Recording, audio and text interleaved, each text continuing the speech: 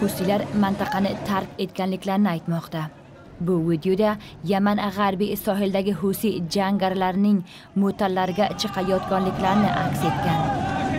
Bu jarayon to'rt kunga cho'zildi. To'rt yillik urushdan so'ng bu tinchlik uchun birinchi qadam. Bandargoh uchun mas'uliyat endi sohil kuchlari va birlashgan millatlar tashkiloti zimmasida bo'ladi. Yordam mahsulotlarining barchasi deyarli shu bandargoh orqali o'tadi.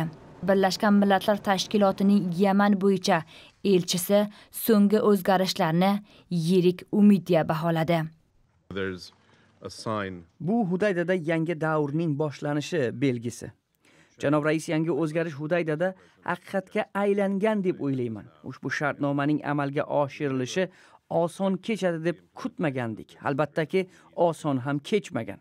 Yaman hukumatining itloot vaziri bu voqealar rivojini londondan kuzatib bordi. lekin al haqiqa ma yahsul fil hudayda hudaydadagi voqealar haqiqatda husiylarning masxarabozligidir biz xiyoliy emas balki haqiqiy tinchlikni xohlaymiz birlashgan millatlar tashkiloti endi navbatdagi qadamni yaman hukumatidan kutib qoladi hukumat tinchlik bitimidagi har qanday majburiyatni amalga oshirishga tayyor albatta har bir qadam tasdiqlanishi kerak. Shu paytgacha husiylarning bandargohdan chiqib ketganligini tasdiqlay olmadik.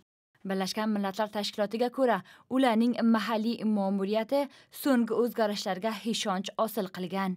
Ammo yaman hukumati husiy jangchilarni kiyimlarini o'zgartirib sohil himoyachilari safiga kirganlikda ayblamoqda. Biroq oldinga siljish uchun bosim kuchaymoqda. Stokgolmda muhim kelishuvga erishilganiga olti oy bo'ldi va bu tinchlik uchun eng yaxshi imkoniyat deb baholangandi. Hozirgacha bu yo'lda unchalik rivojlanish ro'y bermagan. Biroq shu hafta Saudi va imorot neft kemalariga qarshi buzmakorlik amallari bois urushning qayta boshlanishi bo'yicha tashvishlar paydo bo'lmoqda. Hodisa uchun hech kim ayblanmagan. Biroq husiylar ittifoqdoshi eron bilan ziddiyatlar kuchaymoqda.